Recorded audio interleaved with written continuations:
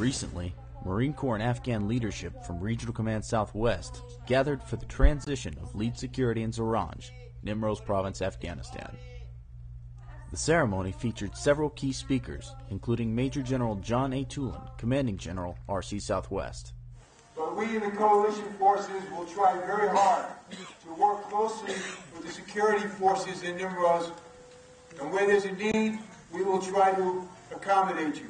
Uh, Nimroz province has really been operating on its own for a long time.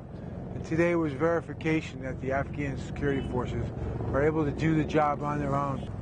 Afghan forces are expected to take control of more battle space as U.S. troop withdrawal continues. Reporting from Nimroz Province, I'm Corporal Daniel Wulz.